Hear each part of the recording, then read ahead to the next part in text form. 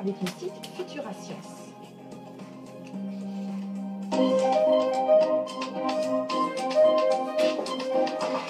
Bonjour à tous les trois, je suis ravie de vous rencontrer ou de vous retrouver, pour certains d'entre vous. Euh, Vincent Cespedes, vous êtes philosophe, Bonjour. il s'agit de retrouvailles. Euh, Olivier Sudry, vous êtes économiste, retrouvailles également. Et puis Jean-Briel Ganassia, vous êtes professeur d'informatique à l'Université Pierre et Marie Curie. Euh, vous êtes l'auteur de Le mythe de la singularité, de, je vous disais donc, euh, juste avant que l'émission commence, que je l'ai lu tard hier soir et qui m'a mis en échec sur certaines parties, mais pas sur d'autres. C'est passionnant. Alors justement, avant de vous proposer la première contribution, et pour qu'on comprenne bien ce que veut dire notre témoin, est-ce que vous pouvez nous expliquer, mais alors en vulgarisant, ce qu'est la singularité technologique?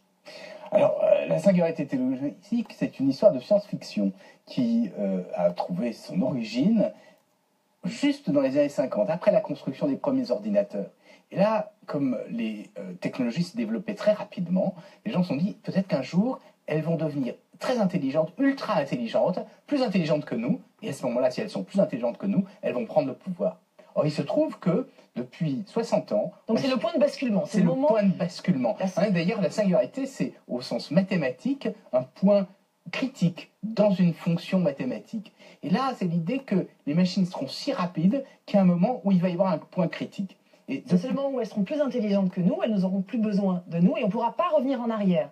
Voilà, c'est ça l'idée. Hein, c'est que euh, eh ben, elles vont peut-être prendre le pouvoir. Ça, ce sont les pessimistes. Et les optimistes, ils disent non, on va être en symbiose avec la machine, on va télécharger notre esprit sur la machine, et à ce moment-là, on deviendra immortel. Et comme on sera immortel, on sera des âmes sans corps, il faudra se réincarner. Et à ce moment-là, il y a des gens qui se disent on va fabriquer des robots pour vous réincarner. Et les téléspectateurs peuvent consulter le site 2045.com et verront comment commencer à fabriquer leur avatar pour Voilà, réincarner parce qu'il y leur a des dates, hein. il y a des dates en 2023 ou 2045, c'est la dernière qui est, qui est à la mode. Euh, je vous propose maintenant, qu'on a compris, cette première contribution postée par un étudiant depuis Paris. Selon moi, les robots humanoïdes sont un progrès pour notre société, mais cela doit être accompagné d'une nouvelle conscience collective. La mécanisation de notre société doit entraîner un éveil des consciences aussi bien au niveau spirituel que psychique. En acceptant cette transition sociétale, on crée une nouvelle conception du travail et plus généralement de sa condition humaine.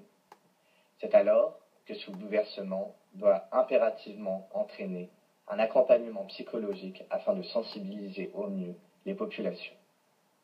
Alors voilà, Philippe, il a envie de nous rassurer en disant pas de panique. Comment est-ce que vous réagissez à ces propos, Vincent Cespedes, et à cette singularité technologique? De toute façon, il faut éviter la panique. Il faut juste penser euh, les phénomènes avec, euh, des données euh, vérifiables et puis une prospective qui toujours est hasardeuse.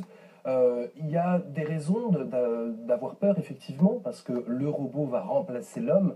Alors, euh, je sais que la mode consiste à dire mais non, euh, il ne va pas le remplacer, il y aura une, redistribution des compétences, l'usine du futur, il y aura toujours des opérateurs qui seront avec la digitalisation des métiers, etc. Mais, euh, mais ça peut être pour le bien aussi, remplacer l'homme. Les tâches fastidieuses, répétitives vont être remplacées. Les tâches, les tâches qui font qu'il y a une espérance de vie moindre chez, chez les, euh, les populations euh, d'ouvriers de 10 ans d'écart avec des cadres. Il faut se rappeler que le mot robot vient du, du tchèque Karel Čapek, qui, dans une pièce de théâtre en 1920, explique explique ce qu'on dit maintenant, c'est-à-dire que les tâches répétitives sont liées au mot robot dans les langues slaves et russes. Donc Ah, l'idée, de robot, c'est l'idée de Répétition et on le voit euh, dans, dans la robotisation de, de l'industrie notamment. Alors là, finalement, vous nous parlez que des bons côtés euh, des robots, mais vous disiez euh, au début de votre intervention, on peut en avoir peur. Oui, on peut en avoir peur quand on voit par exemple l'explosion aujourd'hui de, de la recherche de, de- de- du robot sexuel. Je crois que sur Google, il y a eu en 17 mois 9900% euh, d'augmentation de recherche sur ce, ce thématique-là. Euh, on était à la poupée gonflable dans les années 5, dans les années 60-70. Progrès exponentiel. Voilà, aujourd'hui on est vraiment dans le robot intelligent, etc. C'est peut-être un phénomène de mode, mais l'industrie, par exemple, de la pornographie, c'est 50 milliards euh, d'euros euh, par an, donc c'est énorme. Et, et voilà, il y a, il y a- pareil pour, le, pour, d'autres, pour toutes les interfaces entre la relation client, etc., le robot, l'intelligence artificielle va être là. Moi, je trouve que c'est un peu une déshumanisation aussi. Alors je propose ce, ce chiffre, désignation, oui, le robot pour faire l'amour, c'est sûr que... Euh, bon, bref, je m'égare. Euh, 5 milliards de dollars, c'est le montant estimé du marché de l'intelligence euh, artificielle en 2020. euh, chiffre qui provient du Conseil d'orientation pour l'emploi, donc qui, qui confirme ce que vous dites. Il y a un énorme marché.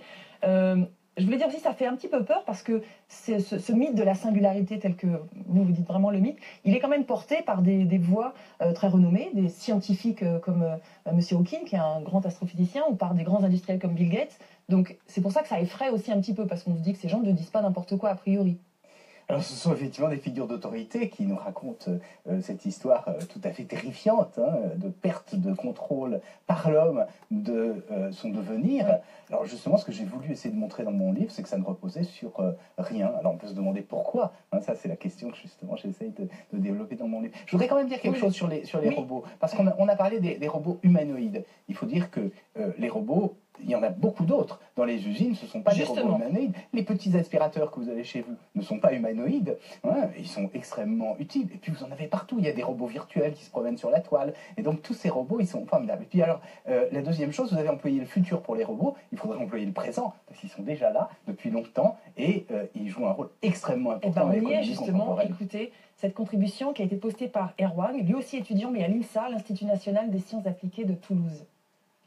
La robotique prend de plus en plus de place dans nos sociétés, notamment dans les usines automobiles où les robots sont capables d'assister, voire de remplacer l'homme dans de nombreuses tâches.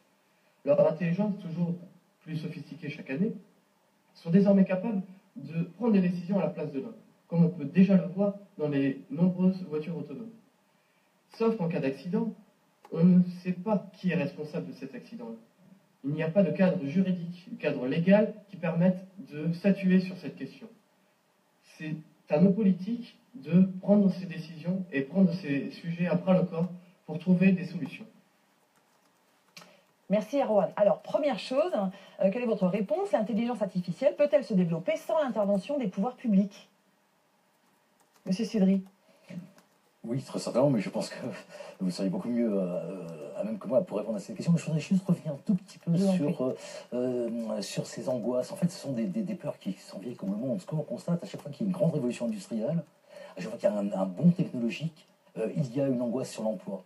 Au 19e siècle, quand la machine à vapeur a fait son introduction, dans les, avec la création des usines, les ouvriers ont eu peur et il y a eu même des mouvements où ils ont cassé les machines en se disant mais finalement quelque part nous allons disparaître.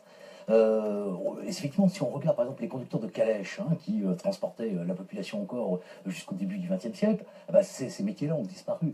il y a donc cette révolution de la robotisation, au contraire, des, un formidable espoir pour l'emploi.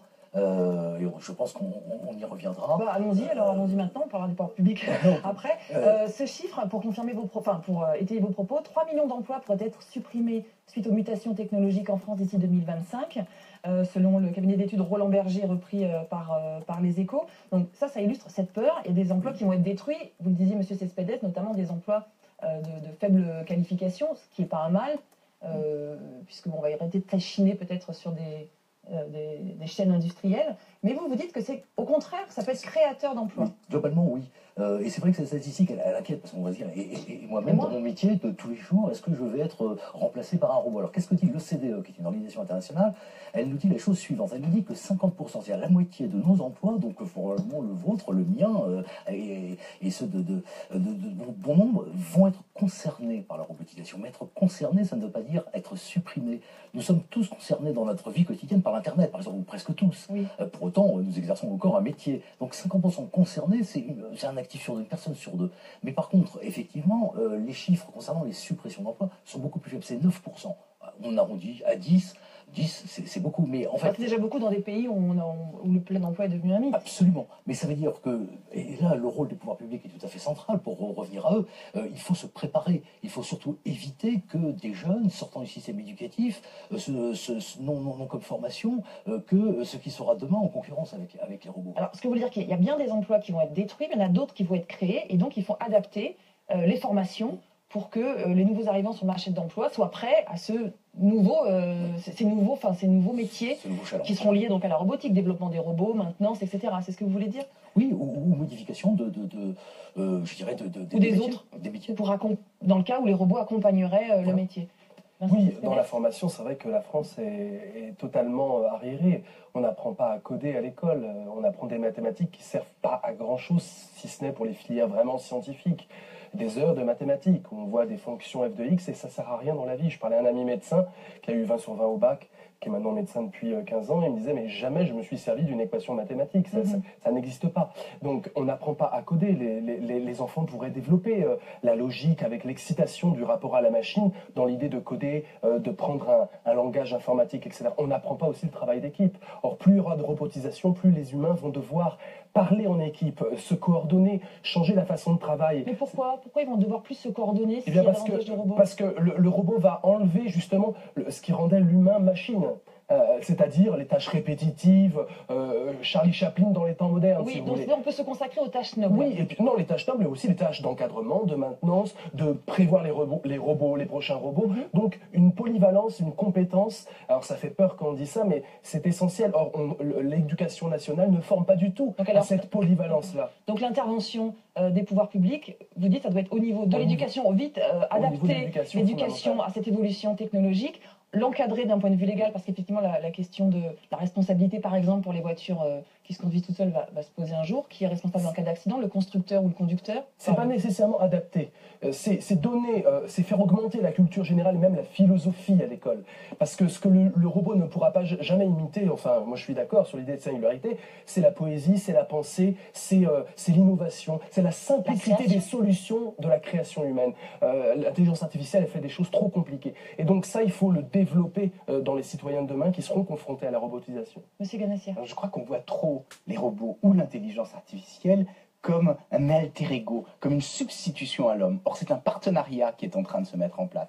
Ces nouveaux métiers dont on a parlé tout à l'heure, le fait que les métiers vont être touchés par la robotique et l'intelligence artificielle, vont être hybridés. Il va y avoir une complémentarité. Une créolisation. Voilà, une créolisation, exactement. Et c'est ça qu'il faut apprendre. Alors, nous, nous essayons de mettre en place des formations pour cela. Par exemple, on a mis en place une bilicence lettres et informatique entre la Sorbonne et l'Université Pierre et Marie Curie, c'est-à-dire Jussieu, pour que dès le début de l'université, les gens aient à la fois une formation scientifique, une formation en informatique et une formation en littérature, avec l'idée double que les gens qui font de l'informatique puissent mieux écrire, ce qui est pas mal, et que les gens qui euh, font des lettres aient une connaissance de l'informatique. Alors avec des nouveaux métiers, par exemple, ce qu'on appelle le journalisme de données, hein, c'est-à-dire que vous aurez des journalistes qui, à la fois, bah, sauront euh, écrire, et puis qui sauront interpréter les immenses quantités d'informations qui sont dans les, dans les bases de données. Donc ce sont ces nouveaux métiers, je crois, qui sont extrêmement importants pour l'avenir. Et si on veut lutter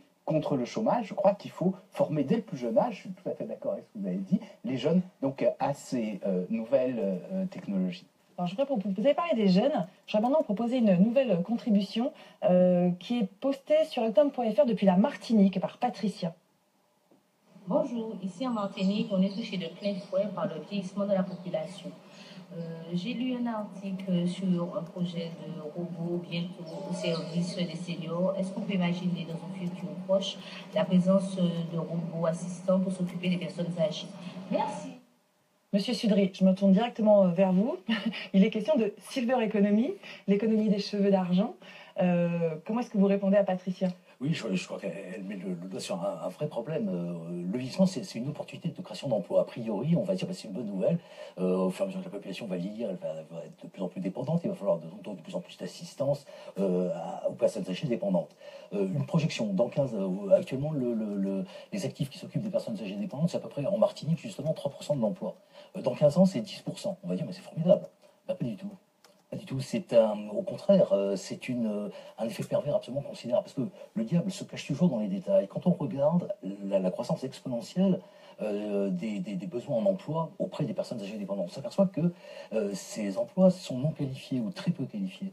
Si on a 10% de la population active qui s'occupe de personnes âgées dépendantes en étant très peu qualifiées, elles sont aussi très peu payées.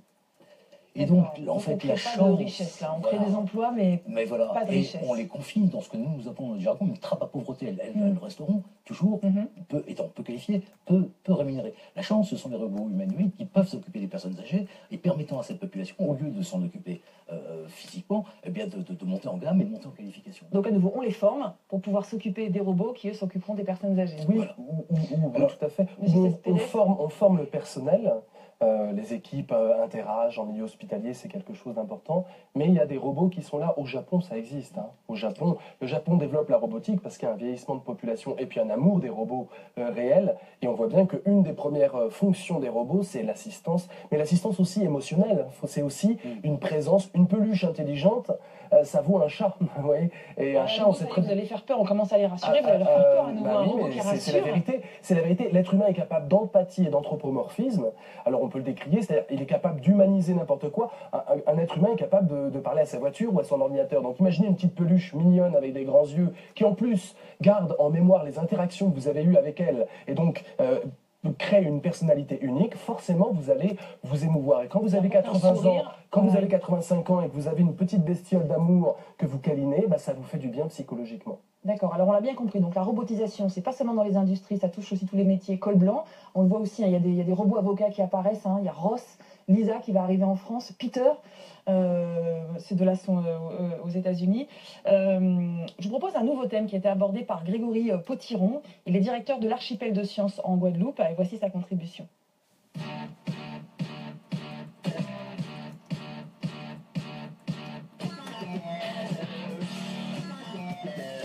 Il s'appelle Nao, Asimo ou Atlas.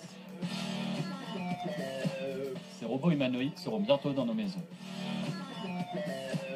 Grégory Potiron, directeur de l'archipel des sciences en Guadeloupe, réagit. Je tiens à souligner l'avancée de la recherche euh, sur tout ce qui est dispositif automatisé utilisé sur les individus.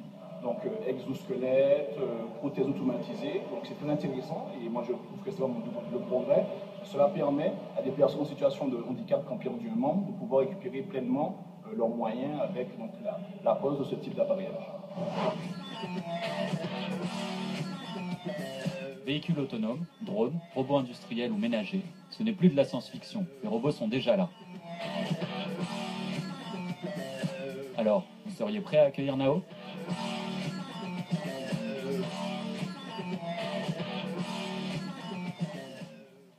Bon là c'était pas Nao la dernière image, hein, on a bien compris, hein, c'était le Terminator. Euh, ce qui est intéressant là, euh, donc le robot, c'est aussi euh, l'homme augmenté, comme on dit parfois, en tout cas des prothèses absolument extraordinaires. C'est un progrès, j'imagine, pour vous?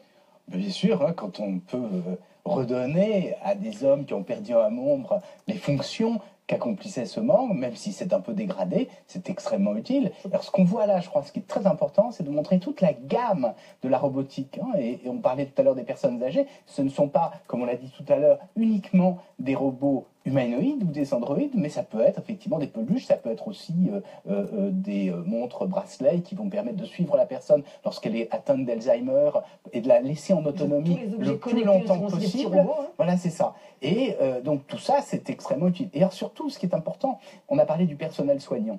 Je crois que ce qu'il faut, c'est que le robot soit en interaction avec le personnel soignant. Quel est l'intérêt? C'est qu'on sait par exemple que les Alzheimer, ce qui est insupportable pour leur environnement, c'est qu'ils posent 10 fois, 50 fois, 100 fois la même question. Et donc on pourrait avoir un robot qui répondrait de façon très patiente et en même temps une connexion avec le personnel soignant au moment où il y a un problème, un- une chute, une demande autre, à ce moment-là, que les gens puissent être alertés. Il faut voir que ces robots, ce ne sont pas des systèmes techniques, et c'est ce qu'on appelle des systèmes sociotechniques. Il faut les concevoir en relation avec tout l'environnement, toute l'organisation sociale qui va avec. Alors s'il faut le concevoir, ça veut dire qu'il faut des hommes pour les concevoir, donc on n'est pas prêt de disparaître, c'est un petit peu rassurant. Tout à fait. Je crois que derrière les il y a d'abord des hommes. Il y ouais. a d'abord des hommes. Dernière, dernière chose, hein, très rapidement, parce qu'on arrive à- au terme de cette émission, euh, ces prothèses extraordinaires, alors là je boucle la boucle, elles posent aussi la question pour certains de, du futur cyborg, enfin du, du transhumain, euh, et puis finalement de l'homme robotisé et de la conscience euh, mise dans un robot. Donc à nouveau, ça fait un petit peu peur, non Ben, c'est c'est un peu l'idée de singularité. Hein. J'ai j'ai essayé d'expliquer que c'est un, mythe, un mythe ancien. hein. On, on peut le retrouver euh, euh, dans l'histoire. hein. On a le golem, hein. on a. euh, l'homme voilà, bionique, c'est pas ça. pour demain. Voilà, c'est c'est pas pour demain, mais Le il y a. nouvel élève de Villiers, euh, Voilà, de.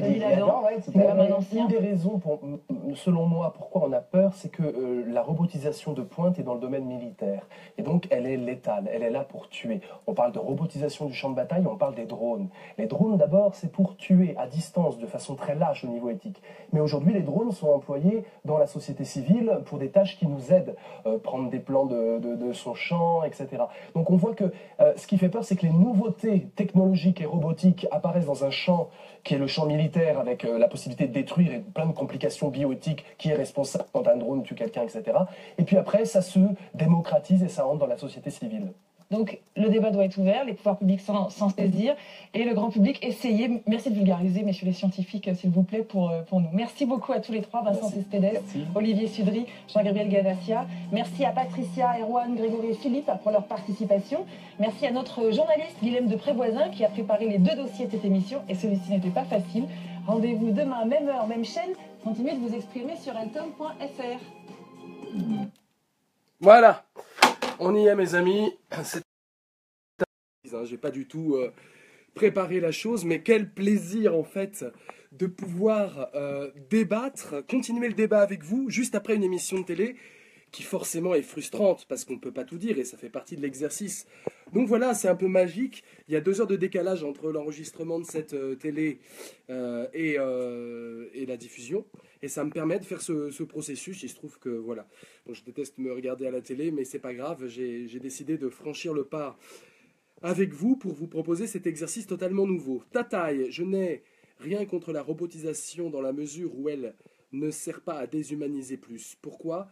Car l'homme se déshumanise déjà assez bien sans son robot. Excellent. Ben oui, c'est ce qu'on a vu. On, voit bien que, toute l'histoire du développement industriel et de l'esclavage, enfin moi j'aime bien parler de servitude ou d'esclavage, montre que l'être humain, euh, il est capable à la fois d'inventer euh, des machines pour, euh, ne, plus soulager un peu les esclaves humains, mais il est capable aussi d'engendrer des esclaves humains euh, des, gens qui font des métiers que personne ne veut faire.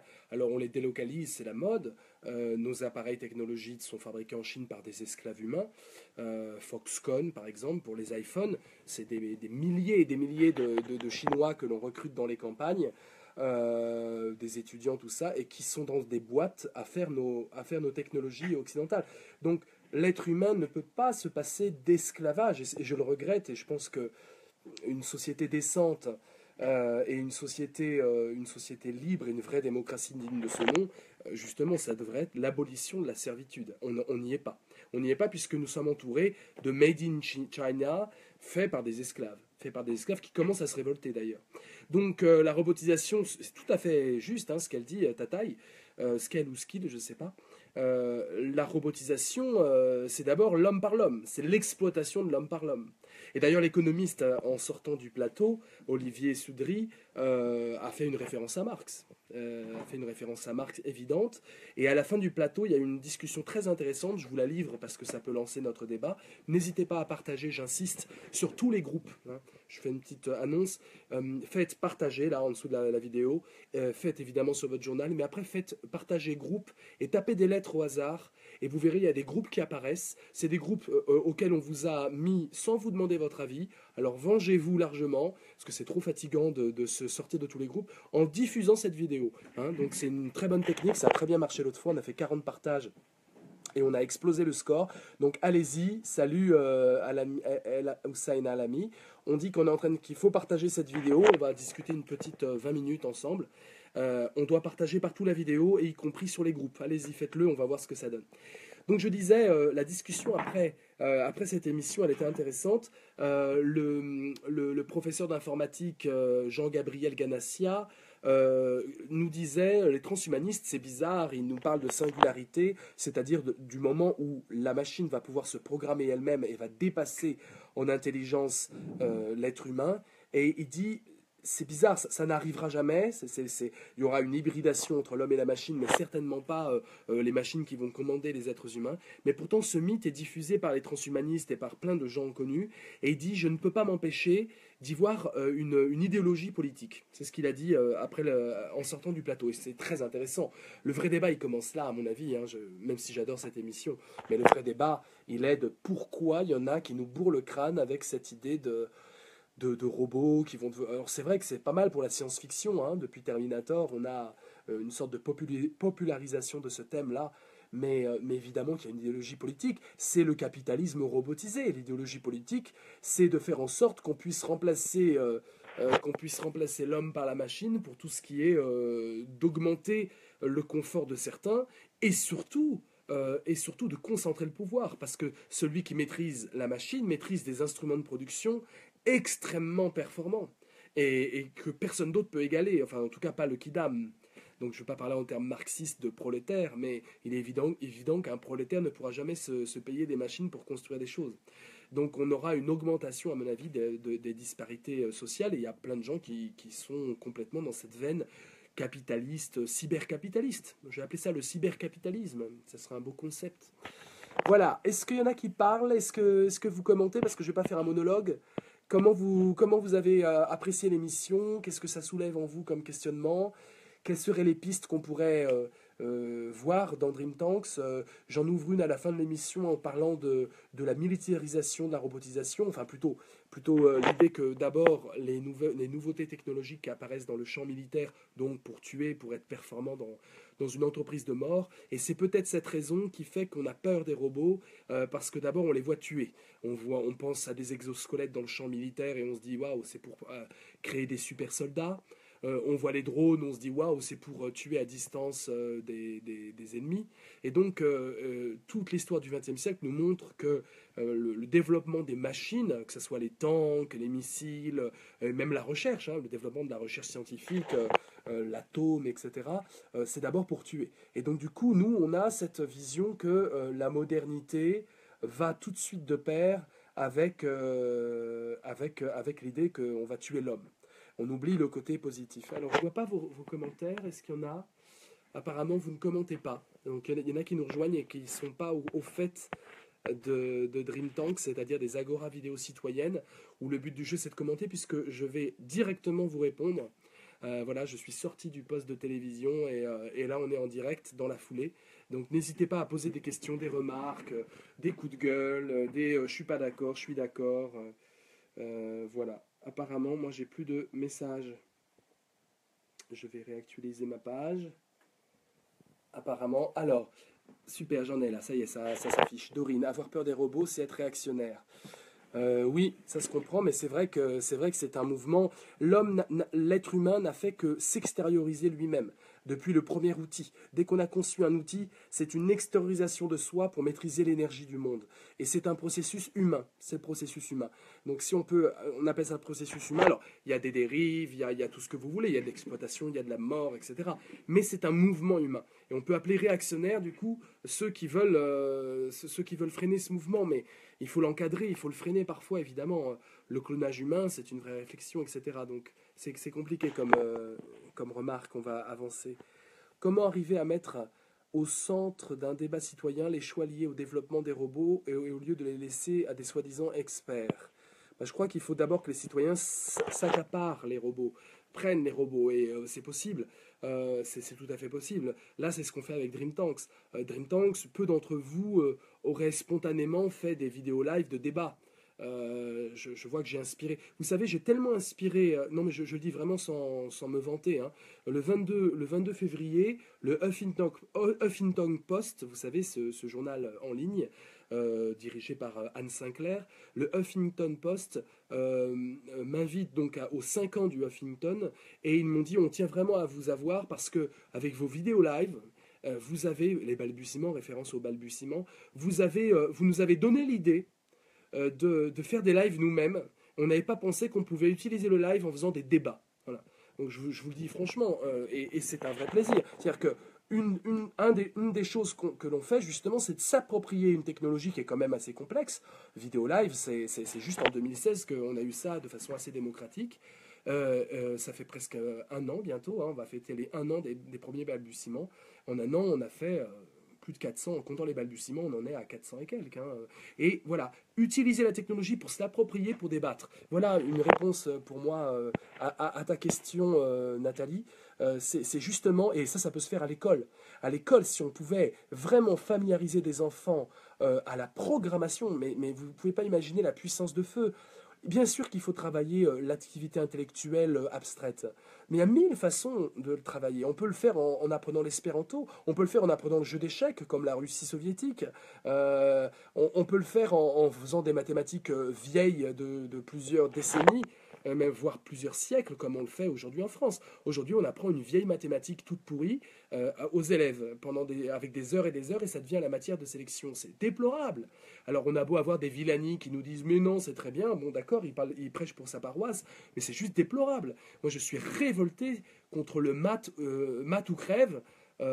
expression de Francine Raymond dans son magnifique livre Comment ça va l'école? Lisez ce livre. Comment ça va l'école? Il y a tout un chapitre qui s'appelle Mat ou crève.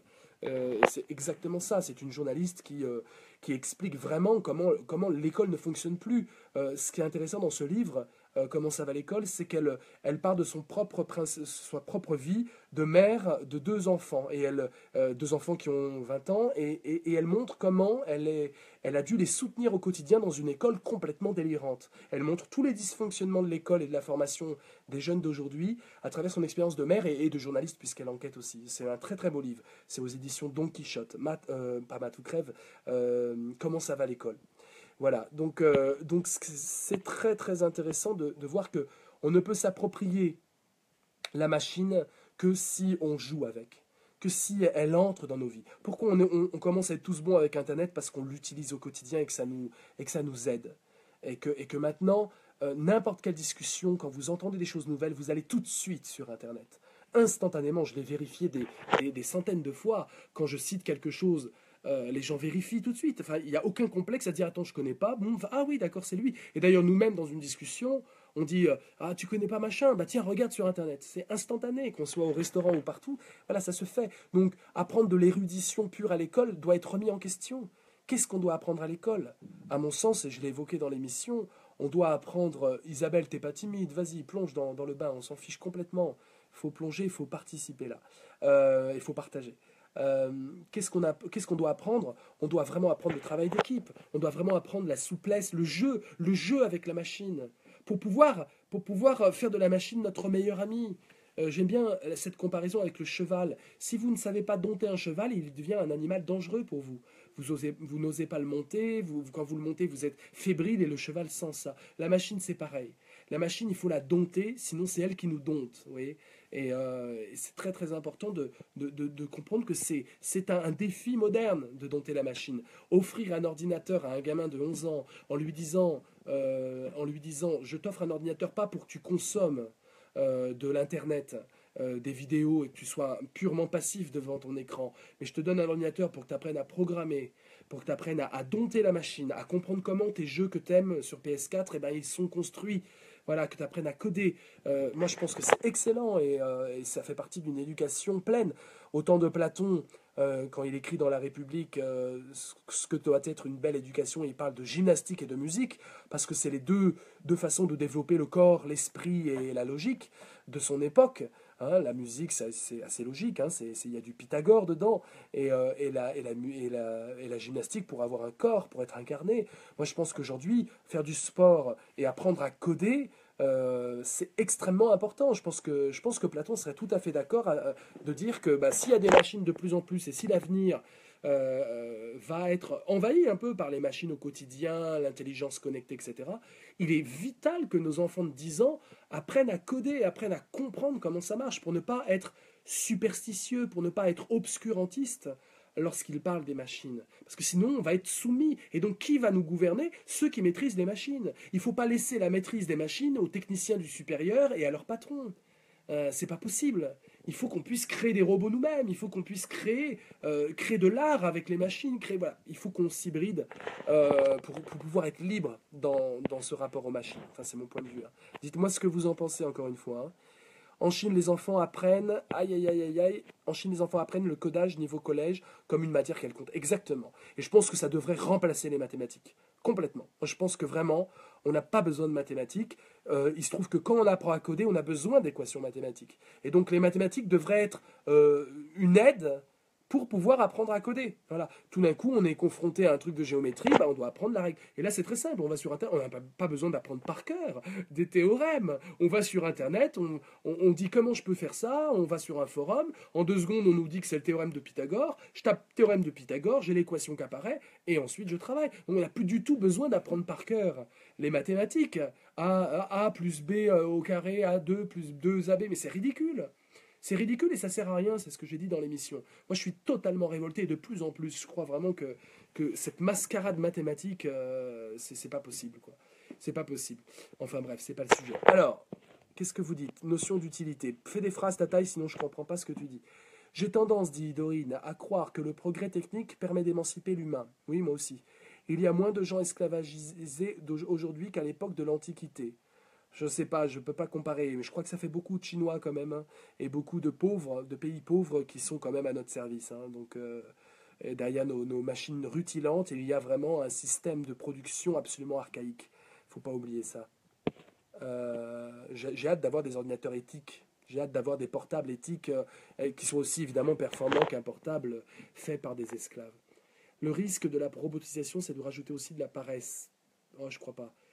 Est-ce que, est-ce que Internet rajoute de la paresse?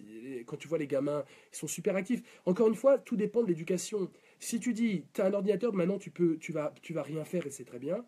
L'ordinateur devient, euh, devient, devient ce qui nous remplace dans nos activités les plus élevées, euh, la création, la poésie, la littérature. Mais si tu dis, tu as un ordinateur et tu dois créer avec, euh, du coup, tu es actif. Vraiment, la notion d'activité avec la machine, c'est ça qui est fondamental. Il faut être actif avec la machine parce qu'on crée avec elle. Certains problèmes semblent en effet aller de pair avec l'automatisation progressive de la société, l'augmentation du chômage, la diminution du travail. D'accord. Soyons agiles jusqu'au bout. Alors, Dorine, doit-on vraiment avoir une école pour les moins de 10 ans? Je peux citer l'exemple du marquis de Condorcet. Il n'a eu d'instruction avant l'âge de 9 ans, c'est-à-dire qu'il ne savait ni... Ah oui, euh, les moins de 10 ans. Moi, je pense, Dorine, zut, ah voilà. Moi, je pense, Dorine, euh, que, pour les langues, pour les langues, euh, parce que c'est quand même bien de parler deux langues au moins, et notamment l'anglais, euh, c'est- bête à dire, mais l'anglais, moi je suis pour une politique de la francophonie beaucoup plus active, hein, c'est évident. Mais toi tu parles espéranto, je sais, on, pourrait, travailler les langues, et c'est vrai que là on le sait, c'est physiologique. C'est dans la prime enfance que, que la langue se fixe bien. Passer 7 ans, c'est déjà trop tard. Et, et passer 11 ans, c'est carrément trop tard. Et du coup, là, on apprend l'anglais euh, trop tard, beaucoup trop tard, c'est ridicule. On, torture euh, les, jeunes d'aujourd'hui avec l'anglais sans en faire des bilingues. On leur donne 8 ans d'anglais sans en faire euh, des bilingues qui sont à l'aise avec ça, alors que c'est une langue aujourd'hui indispensable pour la liberté. Encore une fois, est-ce qu'on on laisse ça aux, riches? Est-ce que, est que ceux qui vont maîtriser l'anglais parce qu'ils ont des stages à l'étranger, ils ont des voyages, et ça va être les riches qui vont parler un très bon anglais et les autres vont parler un, anglais, baratin? Voilà, donc c'est une vraie question. Mais euh, bientôt, évidemment, la machine va venir aussi au niveau du langage. C'est évident que bientôt, euh, dans, dans une dizaine d'années, euh, on n'aura plus besoin, c'est horrible, hein, mais on n'aura plus besoin d'apprendre des langues juste pour pouvoir se euh, communiquer des choses simples à l'étranger. On parlera dans notre iPhone et l'iPhone traduira et, et- traduira ce que l'autre dit. C'est une évidence, ça existe déjà, ça s'appelle euh, Google Trad et vous l'avez déjà. Donc, euh, donc tout ça, c'est à repenser. Voilà, c'est passionnant. C'est une époque passionnante pour ça. Et dans, et dans euh, notre fiction interactive que l'on va commencer le 22 mars, Primate Joke euh, saison 2, euh, il sera vraiment question de ces questions. On va vraiment réfléchir à la singulari- singularité, réfléchir à, à, à homme-machine, euh, au cyborg, mais on va réfléchir en, incarnant des personnages, en vivant une aventure émotionnelle et toujours en interactivité, comme un jeu de rôle en live. Donc vraiment, je vous donne rendez-vous le 22 mars et on sera parti sur la saison 2. Alors, Nathalie, dans l'art, musique, peinture, etc., il y a des expériences extraordinaires où l'homme s'allie aux outils. D'ailleurs, je préfère le terme outil à robot. Des écouteurs existent déjà pour les langues. Euh, oui, mais, non, mais robot, il y a l'idée de, répétition d'une tâche qui euh, non-stop. Quand vous avez les robots en Chine, par exemple, euh, vous avez des robots sur les chaînes de montage maintenant, mais qui sont polyvalents. C'est pas le robot pour peindre la voiture, c'est le robot qu'on peut programmer en fonction de ce, dont on a besoin. Ce que l'on voit, c'est assez sidérant comme image. On voit des humains qui bossent à côté de robots. Voilà. Et parfois, il faut réparer les robots, changer une pièce, etc. Simplement, les robots, ils travaillent 24 heures sur 24. La grande différence, elle est là. Ce sont des esclaves automatisés, donc on n'a aucun problème, sans conscience, donc on c'est pas des esclaves justement, hein, c'est on a le droit, on se sent bien éthiquement à utiliser des robots, alors que l'homme, même si on le rend esclave, on n'est jamais euh, fier éthiquement. Et il, il, travaille 24 heures sur 24, donc il y a toute une redistribution du temps de travail, euh, de, l'emploi qui va être phénoménale. Euh, mais pensez bien que les robots, c'est d'abord des robots qui seront des logiciels de traitement de données. Hein.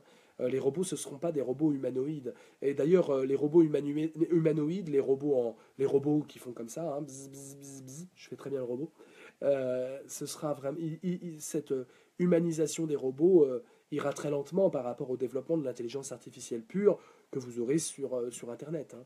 D'abord, on aura, si je dois faire de la prospective, on aura d'abord une intelligence artificielle sur Internet, qu'on pourra après télécharger euh, dans des robots ou quoi, mais, mais ce sera d'abord euh, un, logiciel très simple, à la Google, vous savez, euh, juste une petite fenêtre, et vous parlerez, et vous aurez vraiment l'impression d'avoir quelqu'un en face, c'est le test de Turing réalisé, alors qu'en fait ce sera un robot. Et ça, ça servira pour les entreprises au niveau de la relation client sur Internet, la numérisation des métiers de relation client, où vous aurez des assistants à la banque pour faire vos courses, mais qui comprendront vos goûts, qui retiendront euh, toutes les interactions qu'ils ont eues avec vous et qui seront extrêmement performants. Aujourd'hui, on a besoin d'esclaves. Ça s'appelle la télévente, ça s'appelle euh, le télémarketing. On a besoin d'esclaves. D'ailleurs, on, en trouve euh, au Maroc. comme on n'a pas le droit trop d'avoir d'esclaves en France, on demande à, des, Indiens de répondre au téléphone et de faire en fait, de suivre un formulaire robotique sans aucune once de créativité, de langage, d'humanité. Ça existe déjà. On forme des robots partout. Et quand vous avez euh, la standardiste, je vais dire SFR, mais ça se trouve, c'est pas SFR, euh, qui vous répond, ça se trouve, elle est complètement délocalisée en Tunisie, et elle, elle, suit un algorithme très précis qui a été écrit pour elle, pensé pour elle, et elle fait ça 8 heures par jour, 10 heures par jour. Donc, euh, donc ça s'appelle des robots. Hein. Donc, encore une fois, on doit se méfier de notre, immense capacité à, robotiser l'être humain. Voilà, mais ça reste quand même des robots, je ne sais pas des outils. Et surtout quand il y aura l'intelligence artificielle dedans, c'est-à-dire euh, c'est-à-dire la mémorisation des interactions, etc. Vous avez des robots, euh, je pense à euh, un petit robot holographique japonais, c'est une sorte de petite amie, hein, de petite amie japonaise, qui, dont, elle gère les lumières de votre appartement, elle gère... Et vous lui parlez comme, comme à un chaton, quoi, comme à une petite amie. Et de plus en plus, donc les robots, si je dois faire la prospective, vont d'abord être sur Internet dans des modules de relations clients. Ensuite, euh, ils vont euh, évidemment se développer dans la sexualité. Euh, le, développement de l'intelligence artificielle, c'est 5 milliards de dollars par an. Le développement de la pornographie, c'est 50 milliards d'euros par an. Vous voyez la différence, c'est 10 fois plus. Hein. donc ne sous-estimez pas l'immense empire de la pornographie qui s'intéresse aux robots. on part du sextoy, hein, tout simplement, c'est-à-dire une machine, hein, une machine qui procure du plaisir. Euh, Sex in the City nous a montré qu'on pouvait presque tomber amoureux de son sextoy. Donc, et, on va aller vers le robot intelligent qui fait l'amour. C'est une évidence, c'est pas juste une hypothèse à la Blade Runner. Euh, c'est une évidence que euh, l'être humain, d'abord avec la machine intelligente, il va tomber amoureux. Regardez le film Her, ça montre bien que, alors que là, il n'y a même pas de robot incarné, hein, c'est vraiment juste sur Internet, ce que je vous disais, il tombe totalement amoureux de cette femme idéale. Euh, qui est juste connecté, mais qui est drôle, qui est tout le temps dispo, qui, qui, arrange la vie au niveau euh, numérique, euh, qui, qui l'aide à classer ses dossiers, qui fait sa secrétaire, qui fait sa psychologue, et qui le fait délirer avec la voix de Scarlett Johansson. Voilà, d'ailleurs, il y a un, informaticien, un roboticien chinois qui a créé un robot à l'effigie de sa, son actrice préférée, Scarlett Johansson. Scarlett Johansson fait délirer tout le monde et elle devient robot déjà. Voilà, peut-être que le destin des stars, ce sera de devenir des robots, comme le destin des stars du porno était de devenir des gods. Voilà, excusez-moi un peu le langage un peu brutal, mais, mais c'est vrai, c'est comme ça que ça va se développer, c'est une évidence. C'est une évidence et il y a beaucoup de moyens. Et ensuite, les robots, alors moi je ne crois pas du tout au côté euh, on va récolter la conscience de quelqu'un et en faire un robot. Euh, d'abord, on en fera peut-être effectivement.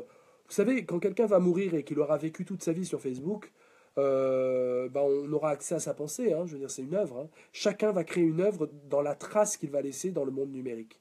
On n'aura même plus besoin d'écrire des livres. Euh, avant, on pouvait se dire j'écris des livres pour pouvoir laisser une trace dans l'humanité de mon passage. Aujourd'hui, ça s'appelle faire des selfies et, faire des Snapchats. Euh, donc, quelque part, il y a une démocratisation de l'immortalisation par l'œuvre. Et c'est intéressant ça aussi.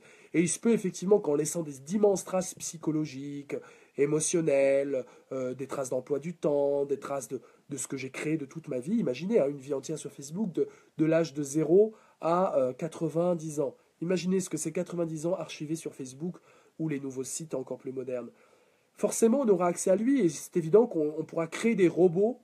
On pourra créer des robots à partir de ces traces-là qui ressembleront à la personne. C'est une évidence. Euh, donc euh, très peu et, très peu détaillé. D'ailleurs, je l'ai lu nulle part, hein, cette évidence. Peut-être dans Black Mirror, vous avez quelque chose comme ça, mais, mais moi, en tout cas, je pense vraiment que ça se comme ça. C'est-à-dire qu'on pourra robotiser une star, par exemple, qui meurt. Pensez à Elvis Presley, il y en a qui disent qu'il a encore envie tellement on est euh, accro à des grandes stars comme ça, Michael Jackson. Imaginez Elvis Presley qui laisse des traces informatiques de 0 à 80, enfin il est mort plus jeune, euh, toute sa vie. C'est évident que pour, des raisons budgétaires, parce qu'on peut faire du fric, on créera un faux Elvis Presley qui pourra proposer des phrases nouvelles à la Elvis Presley, voire même des chansons nouvelles à la Elvis Presley. Pareil pour Michael Jackson. Et, euh, donc, ou pareil pour Rihanna euh, quand elle partira. Donc c'est évident que, enfin je dis c'est évident, mais c'est des idées totalement nouvelles que je suis en train de vous dire. Là, hein. je, les ai lues nulle part. Hein, cette idée-là, nulle part elle existe. Hein. Enfin, nulle part existe. Dites-moi si ça existe déjà. Mais en tout cas, euh, on pourra robotiser un contenu informatisé laissé durant toute une vie par une personne. Et donc, vous aurez l'impression que si votre, si votre père meurt, s'il a laissé toute sa vie sur Facebook, je parle dans, dans 40-50 ans, vous pourrez créer votre petit robot euh, mi-padré. Et euh, c'est horrible, hein, je sais que ça fait peur. Hein. et, et, il vous parlera, vous avez vraiment l'impression d'entendre votre père. En fait, il y a un truc plus fort que ça, c'est que ça existe déjà, ça s'appelle le souvenir actif et émotionnel de l'autre. Et c'est évident quand on a un être cher qui part, il est dans notre tête et on sait très bien comment il pourrait commenter les détails de notre existence. Mais bon, avoir un robot, ça, ça, peut saturer. Là, j'ai le nez qui se bouge. Alors, alors, Nathalie, il y a quelques mois, il y a déjà eu les premiers chats amoureux robotisés. Oh, ça existe depuis très longtemps, depuis même le Minitel Rose. Vous avez des tentatives de robotisation, j'avais étudié ça, euh, de, faux, de robots qui disent salut, tu vas bien, qui disent un scénario sexuel, et même dans les messageries euh, érotiques, vous aviez des voix programmées. Donc ça, c'est, c'est, là-dedans que ça va aller. L'argent, il va être là. Euh, la robotisation va aller là où il y a du fric, parce que ça coûte très cher. Donc elle va aller dans l'industrie du sexe, dans l'industrie de militaire, et dans l'industrie de tout ce qui est star. De tout ce qui est star, parce qu'il y a beaucoup de fric à se faire. Vous imaginez un robot Claude François avec toutes les stars, de, les fans de Claude François en France, ça serait magique. Je travaille dans une EHPAD. La direction a acheté un robot pour l'animation. Les résidents sont très réceptifs. Évidemment, Isabelle, bah merci de, de tu vois, as osé, euh, c'est bien, sortir de ta timidité. Euh, euh, voilà, les personnes âgées, tu, leur mets, tu leur mets un petit robot mignon, etc. Ça devient la coqueluche de l'EHPAD. Et, et puis, alors si c'est une intelligence artificielle, ça va plus il y aura d'interaction humaine, plus ce robot va devenir unique. Ce sera le robot de cette EHPAD-là. Euh, parce qu'il va archiver et traiter toutes les données euh, extérieures qu'il va recevoir. Donc c'est une vraie créature, on aura affaire à une vraie créature, et les personnes âgées, euh, elles vont pas, enfin, elles vont, elles ont le cœur sur la main, elles sont fragiles, elles sont un peu abandonnées, elles sont un peu seules au monde, et donc forcément elles auront de l'émotion avec cette bestiole. Voilà. Comme elles l'ont avec des robots, des robots vivants que sont les chats et les chiens, parce que les chats et les chiens, Bon, c'est assez robotisé, hein, je veux dire, une vie de chat, euh, c'est un peu la même chose. Une fois qu'on connaît le caractère de base d'un chien, euh, bon, il peut bougonner quand il est vieux, etc., mais ça reste à peu près le même. Excusez-moi hein, pour tous ceux qui aiment Walt Disney, je suis désolé, hein, mais c'est pareil pour les êtres humains aussi, quand ils ne se remettent pas en question et qu'ils ne réfléchissent pas sur eux-mêmes. Écrire sur Facebook, excusez-moi, j'ai le nez qui se je suis vraiment dans un état déplorable. Écrire sur Facebook n'a pas même, le même contenu que dans un livre. Bien sûr, bien sûr, tu as raison, Séverine. Certains traits de la personnalité ne peuvent être visibles par Facebook et autres réseaux sociaux. Tu as tout à fait raison. Mais je dirais aussi l'inverse. Euh, il y a des choses qui s'expriment sur Facebook qu'un que, livre ne pourra pas exprimer. Un selfie en dit beaucoup plus long que quatre pages d'écriture parfois. parfois. Euh, c'est assez intéressant. Mais ça, on ouvre un autre débat. Mais c'est très intéressant. Très intéressant. Alors, Tataï, je serais pour une certaine robotisation, non pas pour déshumaniser, mais pour surhumaniser. Waouh, c'est Nietzschéen ce mot. Au sens Nietzschéen, ah bah ouais, excuse-moi, je viens, de le dire. Au sens Nietzschéen du terme, et rien à voir avec Robocop ou Superman. Bah, si c'est surhumanisé à la Nietzsche, ça veut dire être créateur de ses valeurs, tout simplement. C'est être artiste de sa vie. Donc les robots devraient nous aider à devenir ambitieux. Or, aujourd'hui, l'ambition est une chose très moyennement partagée par tout le monde. Je vais, plus, je vais devoir arrêter ce live. je suis dans un état pas possible, il faudrait que je me mouche. je vais vous épargner un peu mes scories euh, virtuelles. Euh, mes miasmes plutôt virtuels. Passionnant tout ça. Merci de ce débat maintenant, je dois partir, d'accord, super. Donc passionnant. Euh, est-ce que les robots vont nous aider à être, à être les créateurs de, notre vie, à déployer une ambition? Moi je pense que plus, plus l'humain fait avec les robots, plus il doit être ambitieux. Parce que si une chose, si une chose euh, existe que les robots ne pourront jamais euh, singer, c'est la, magie de l'ambition humaine. Qu'est-ce que c'est être ambitieux? Qu'est-ce que c'est avoir une vision? Qu'est-ce que c'est réaliser un rêve? Et, c'est à travers là qu'on pourra garder notre humanité. Il faut démocratiser l'ambition. Il faut que chacun devienne le héros de son existence, vraiment, hein, et pas dans le développement personnel, hein, pas juste pour aller bien. Euh, non, non, vraiment, que chacun devienne artiste. Il faut créer une humanité artiste pour que les robots nous aident comme les pinceaux aidaient le peintre. Je vous remercie mes amis, partagez cette vidéo et à très bientôt sur Dream Tanks.